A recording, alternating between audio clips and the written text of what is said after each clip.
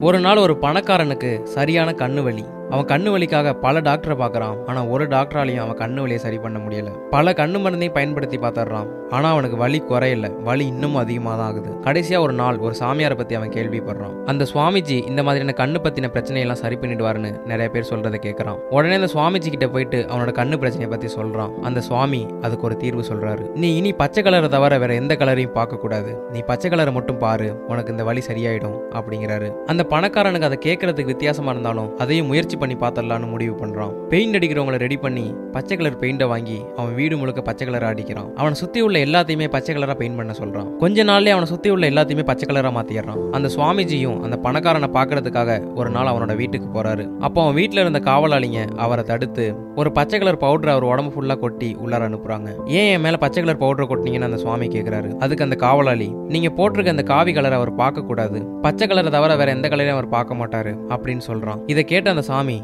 உடனே சிரிக்க ஆரம்பிச்சிடுறாரு. அந்த பணக்காரன்ட்ட போய் நீங்க இவ்வளோ செலவு பண்ணி எல்லாத்துக்கும் பெயிண்ட் அடிக்கிறதுக்கு நீங்க ஒரு பச்சை கலர் கண்ணாடி வாங்கி மாட்டியிருந்தா உங்களோட பிரச்சனை முடிஞ்சிருக்கும்ல. அப்பதான் அந்த பணக்காரனுக்கும் இப்படி ஒரு வழி இருக்குங்கிறது புரியுது. இதே மாதிரிதான் நாம இந்த உலகத்தை மாத்தணும்னு அவசியம் இல்லை. நாம நம்மள மாத்தினா போதும். இந்த உலகம் நமக்கு ஏத்த மாதிரி தெரிய ஆரம்பிக்கும். இந்த கதை மூலமா நீங்க என்ன தெரிஞ்சுக்கிட்டீங்கன்னு மறக்காம கமெண்ட்ல சொல்லுங்க. இந்த வீடியோ பிடிச்சிருந்தா இந்த வீடியோக்கு ஒரு லைக் பண்ணுங்க. மறக்காம ஸ்டாரி ஸ்டேட்டஸை சப்ஸ்கிரைப் பண்ணி சப்போர்ட் பண்ணுங்க.